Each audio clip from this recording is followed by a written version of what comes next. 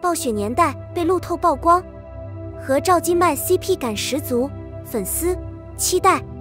关于吴磊和赵今麦将合作影视作品《暴雪时代》的消息，相信很多人之前都有所耳闻，只是没想到这部作品启动的这么快。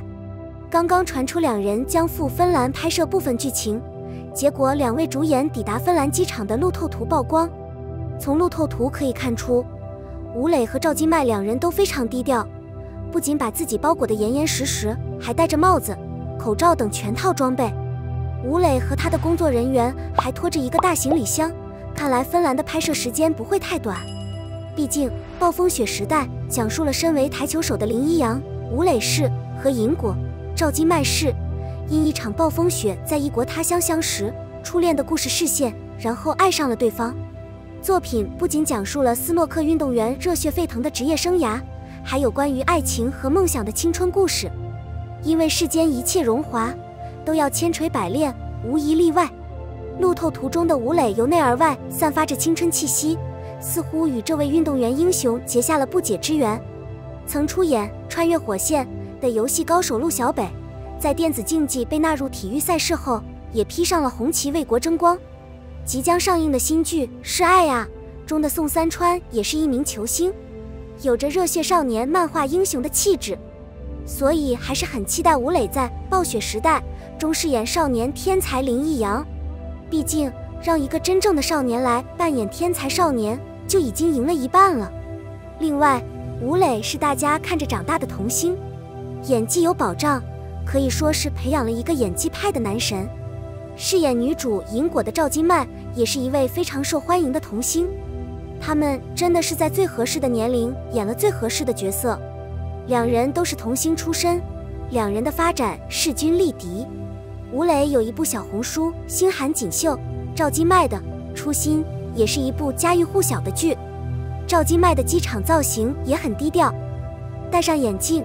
身穿羽绒服，看起来像个可爱软萌的小姐姐，但在作品和杂志上都会有不一样的风格，让人有少女感。惊喜！而且吴磊和赵今麦的颜值都是大气又亮眼，主角同框简直就是一场美人的盛宴。除了两位高人气主角的配置，《暴雪时代》还有原作者墨宝非宝担任编剧，口碑有保障。毕竟墨宝非宝的作品拍完之后的评价都很高。他还担任过剧版《何以笙箫默》的编剧，改编功底相当扎实。此外，《暴风雪时代》是在芬兰拍摄的，相信关于雪景的画面也是一种壁纸层面的视觉享受。吴磊、赵今麦的主演加上童话般的雪景，更是双重惊喜。谁看了这个配置都可以说是，毕竟同童星团 CP 的几率实在是太低了，让人更加期待这部作品了。吴磊暴雪年代被路透曝光，和赵今麦 CP 感十足，粉丝期待。你对这部作品有什么期待？欢迎在评论区留言讨论。童星事业有成，但成年后除了杨紫和吴磊，还有谁更成功呢？我国有很多事业发展非常好的童星，也有很多成年后的演员之路非常艰难的娱乐从业者，他们有的已经退休过业余生活，有的还在十八线奋斗。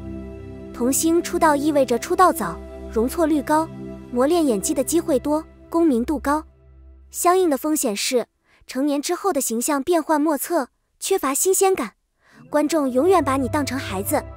除了《还珠格格》《西游记》《家有儿女》，九零后的暑假还会陪伴我们。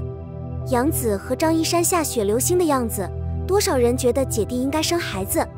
因为杨紫的颜值并不算太出众。成年后的她屡屡撞进剧组，就连在《家有儿女》中饰演母亲的宋丹丹也直言不讳地提到了这个问题。直到二零一五年的大秧歌，他凭借演技强行通过了正剧的考验。小编觉得这是杨紫第一次挑战成人角色，开始给人留下深刻印象，但并不是爆发的开始。只是在二零一六年《欢乐颂》之后，流量时代已经到来，《欢乐颂》二分之一。香蜜沉沉烬如霜和杨紫主演的《亲爱的，热爱的》成为了各个题材的开端，而且都是巅峰之作。后来大家纷纷模仿，基本都模仿了。这四部作品直接把杨紫送上了九零后小花流量第一的位置，还有一个就是迪丽热巴。杨紫的成功不可复制，她是娱乐圈第一位不靠颜值，只靠演技打破颜值论壁垒的女明星，辟谣的女明星。她是一位在剧组工作多年、空白期很短的女明星。她自己改变了命运，不会有下一个杨紫。还记得吴磊在颁奖典礼上称杨紫为紫姐，杨紫说以前无论走到哪里，她都是剧组里最小的，现在被吴磊叫紫姐，她却叫紫姐。紫姐，吴磊也长大了。还记得《琅琊榜》中的武林宗师飞流吴磊，还是《旋风少女》中的胡一峰，又或者是马小跳和唐不酷？吴磊的童年不仅是在学校，还在剧组。别看他才二十二岁，却有四十部、五十部儿童作品，让观众一直把他当成孩子看待。明明已经是幺八零加的帅哥了，但是大家总觉得他比印象中的还是老了那么一点点。转型之路也很艰难，沙海、什刹海、穿越火线、斗破苍穹都没有给观众留下深刻印象，大家纷纷吐槽，也许家庭作坊式的经营模式害了他。同辈的刘昊然和易烊千玺进入电影圈早，事业也越来越好，言情剧在电视剧市场是必然的。二零二一年，迪丽热巴在《长歌行》中饰演的 Ashley Falcon 简直就是魔幻。以后吴磊的其他作品能不能打败他塑造的这个形象就很难说了。Ashley Falcon 让观众看到了吴磊影片的另一面，所以有时候转折点是一部意想不到的作品。二零二二年暑期档，星光灿烂，明月出海，将少将形象演绎的淋漓尽致，没有人会质疑吴磊演技差。再加上娱乐圈最好的颜值和身材，小编赌他的未来一定是个 top 级别的演员。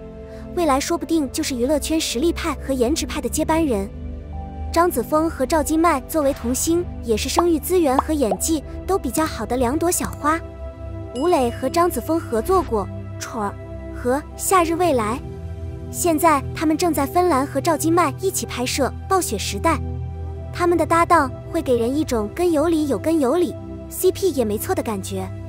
除了他们中的少数人之外。实际上还有更多的演员没有继续演艺事业，比如演过《小和尚》和《宝莲灯》的曹军，《少年包青天》的释小龙，《金粉世家》的舒畅，还等着爆发的蒋依依。